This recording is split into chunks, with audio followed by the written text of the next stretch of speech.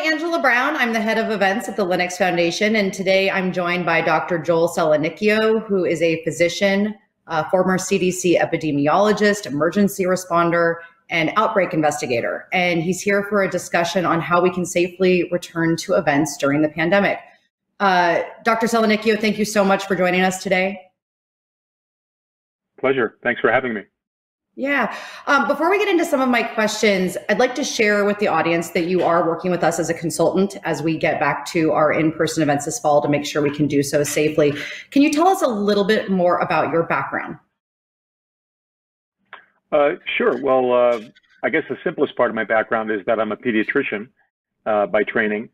Um, and often when I meet people and they want to know, uh, if I don't think that I'll be speaking to them very long, I just stop with the pediatrician part because everybody everybody gets that and everybody likes pediatricians. But actually, most of my professional career has been working as an epidemiologist, uh, first for CDC uh, and uh, later for WHO and other organizations, and also as a technologist. So uh, I've been heavily involved in outbreak response uh, and public health, uh, but especially from the technological side. Very cool. Thank you so much. Well, let's go ahead and dive right in. So, I guess the first question on everyone's mind is Is it safe to attend an event in person right now um, where vaccines and masks are required? Yeah, sure. I mean, I think it's important to, to think about the, the relative nature of the term, you know, safe. So if we say, you know, something's safe, well, the, the, this is going to involve uh, a risk kind of evaluation, and the risk evaluation involves what's the probability that something is going to happen, and and what's the consequence if it does happen, right? So, you know, if we think that the every time we leave the house, there's a 0.001% chance we're going to get hit by a car.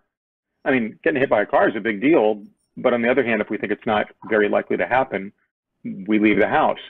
And so we're always weighing these risks and trying to determine whether or not we, you know, we should go outside or we should drive to the supermarket or, you know, take a vacation or whatever whatever you might want to do. So in terms of attending events, I think it's important to to recognize. Right now, it's very clear that people who are vaccinated have very strong protection against serious COVID illness. So, uh, for example, uh, there's been uh, several studies. I was just hearing about one on NPR actually this morning. I hadn't heard before that was done in the UK. But all the studies that have been done so far regarding the vaccination, and especially regarding the vaccination and the Delta variant, have shown that the vaccination is very, very effective against uh, protecting against hospitalization and serious illness. And in most of those studies, uh, they looked at uh, what was the protection from even one shot. For example, if you got the Pfizer vaccine but you only got one dose.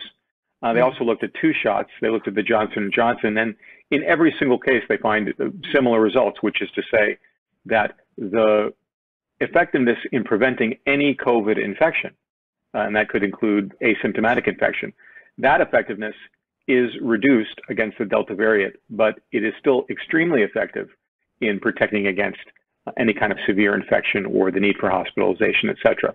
And all those studies took place um, just among the public in places. They didn't take place at events where everyone was masked and mm-hmm. everyone was vaccinated. And so the, the point here is that unless you um, have particular conditions, unless you're immunosuppressed, unless you're over the age of 85, in which case those things by themselves give you a higher risk profile, uh, then you have very, very little to fear for yourself, I think, from attending an event uh, where everyone is vaccinated and everyone is wearing a mask. Now, of course, the, the, the other last little bit is uh, you may not be over the age of 85, you may not be immunosuppressed, but if someone in your household or someone that you uh, think you're going to come into contact with routinely is in those categories, you'll want to think about uh, how you can mitigate the risk to them of you potentially getting, let's say, an asymptomatic infection and transmitting it, transmitting it to them. So I'll give you an example. My mother is 80 years old. Uh, I do attend live events, and when I attend those live events, if I'm going to go see my mom, um, I wait for at least a week so that I can see if symptoms arise, and I also get myself tested. Because uh, again, I, I, don't feel myself to be at risk, but I certainly mm-hmm. don't want to transmit it to others. What steps do uh, what what could attendees do on site to help keep themselves as safe as possible, aside from you know being vaccinated, which we're requiring, and of course wearing masks? Yeah, well, I mean, not, you know, vaccinated, you're 99% of the way there, right? That is the single most important thing. that we can do to protect ourselves against COVID and also to protect those other groups that I mentioned, you know, our loved ones and, uh, and associates and uh, other family members who uh, who are in those high risk groups. So vaccinated, you're you're almost all the way there. I think when you add a mask to that equation, you know, one more layer, literally in this case, one more layer of protection, um, you're making yourself even safer. So those things, I think, for attendees of the conference, you know, if there's social distancing, mask wearing, and people are vaccinated, I think they they've done a great deal to keep themselves safe. Obviously, we would also, in, along the lines of keeping everyone else safe, we would also want people at an event to be immediately forthcoming if they started developing any kind of symptoms of illness. Uh, and it, you know that doesn't necessarily have to mean, you know, that you developed a cough, but certainly, you know, you, you feel like you're starting to get a cold, you feel like you're getting a fever. Obviously, you need to let some one of the event organizers know so that we can safeguard the other attendees at the event. And that leads right into my next question, which is what should an attendee do if they start to feel unwell uh, while they're on site at an event? I don't think that uh, necessarily getting unwell or becoming unwell at an event is going to be different from becoming unwell anywhere else. I mean, uh, obviously, if you're at home, you have the option of staying at home. But if you're in an event, um, you'll basically you'll just want to seek care.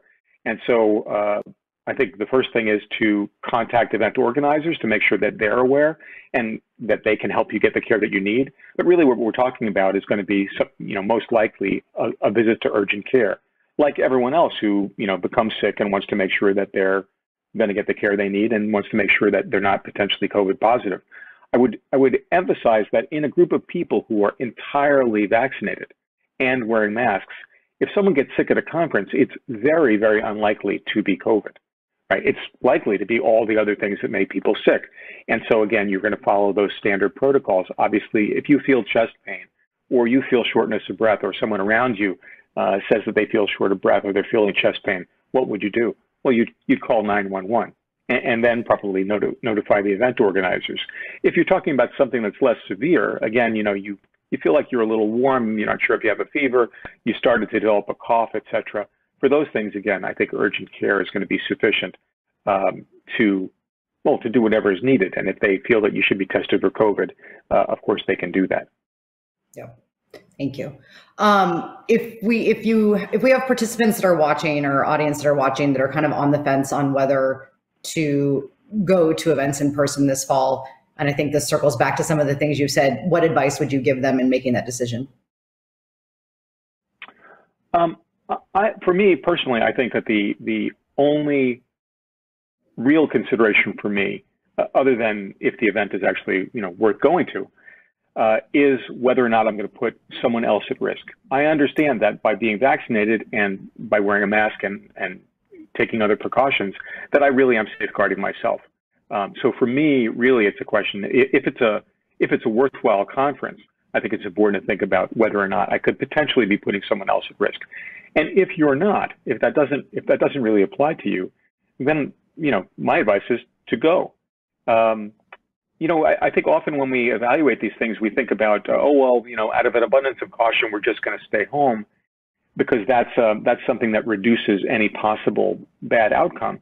And we forget that that you know it, it sounds a little silly, but not attending conferences, not going out, not doing normal things, all of that, those are negative consequences.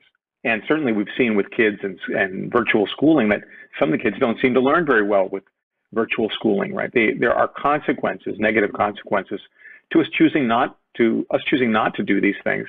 And so again, for me, I would say that um, uh, for me, the, the major concern really is whether or not you're going to put someone else at risk and um, a, a high risk individual. And if that's not the case, and you feel that this is going to be a great conference, my advice would be to go. Um, we've discussed uh, that if someone were to test positive uh, on site at the event for COVID, that we would not need to shut down the event. Of course, we would notify everyone. Um, and this is again is where we're talking about where all participants are vaccinated, of course, which we are requiring in our events. Um, so that we don't need to shut the event down and that participants don't need to quarantine. Can you provide a little more context there so the audience understands why that's the case? Right. So uh, the, the protocol for folks who are vaccinated is quite different from folks who are not vaccinated. Right. The presumption with folks who are not vac- who are vaccinated is that they do not have COVID, right? It's very unlikely that you're going to develop COVID, and so uh, they don't have to follow the same protocol. So CDC has been consistent with this uh, throughout, and now into this period of the Delta this uh, Delta variant, saying that if you are vaccinated um, and you're wearing a mask and you know that you have a um, that that someone has COVID at the event, um, then basically the people who are close contacts, right? Not everybody at the event, but people who think that they have spent a substantial amount of time, you know, essentially right next to that person, um, that they wear a mask, which of course everyone would be doing at the event already, that they get themselves tested three to five days after this, after the potential contact with this person, right? And that three to five days is recognizing that having the vaccination may cause you to become symptomatic uh, later than you might otherwise do, right? Because the idea is that the vaccine, even when you, um, uh, even if you were to contract COVID after being vaccinated, if you were so-called breakthrough case, that the vaccine would would basically help your body to fight off that infection, and it wouldn't be as severe or as apparent. So again, to wait for three to five days after the exposure, um, and uh, then you can stop wearing the mask if that test that you do at three to five days turns out to be negative uh, if it turns out to be positive, then you should wait for a full 14 days from the exposure. Meaning, if it's positive and you, in fact, did contract COVID, uh, after 14 days, you wouldn't be uh, transmitting the virus to other folks. You'd probably be feeling much better, and you could then stop taking the mask.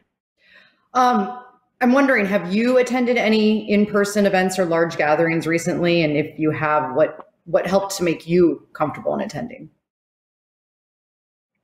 Well, uh, uh, you know, as you and I have talked about a little bit offline, I've actually been doing quite a bit of work with mass vaccination centers around the country. I normally, in a, in a normal non-COVID year, attend many, many conferences. Uh, I haven't attended any conferences in about the last four or five months, and uh, or, or even large meetings. However, I've been uh, traveling to many of the uh, federally funded and federally operated mass vaccination centers essentially trying to help them do a better job at that mass vaccination process. And um, in a in a funny way, the mass vaccination centers feel a lot like a conference. You know, you're in a you're in a big room. There's people milling about. Some people are waiting online. There's different booths offering different different services yes. or information, and of course, you know, uh, there are people there who are, uh, in the case of the mass vaccination centers, by definition, not vaccinated. Essentially, yeah. everybody who's waiting in that line is not, not not vaccinated. Now, I am fully vaccinated. I have been for for months and months, and I felt comfortable doing that work and being in those locations. One, because this is you know this is what I do. This is what I'm trained to do, but also because I'm a healthy person. I'm vaccinated. I do not live with high risk uh, people that I could potentially transmit the virus to, and also that I was wearing a mask the whole time. So um, uh, for me, again, uh, there was sort of pseudo conferences. It sort of felt a lot like being at a conference. Yeah. And uh, I would have no problem attending a worthwhile conference now, uh, again, given that I'm vaccinated, uh, uh, not at a high risk myself, and would be wearing a mask. Yep. And as you said, using your mom as an example, being sure to do the the distancing and then getting a test afterwards um, before you saw her. Um, too, which is terrific. Right. Uh, Dr. Selanikio, thank you so much for joining us for the work that you're doing with us to help us get our community back, um, of course, to in-person events safely. Also for your tireless efforts, along with all of our other first responders um, on those those vaccination centers and all your work with FEMA. To our audience, uh, we hope this helps you in making a decision on whether to join us or not this fall. If you decide to do so, we look forward to seeing you on site and in person. Thank you.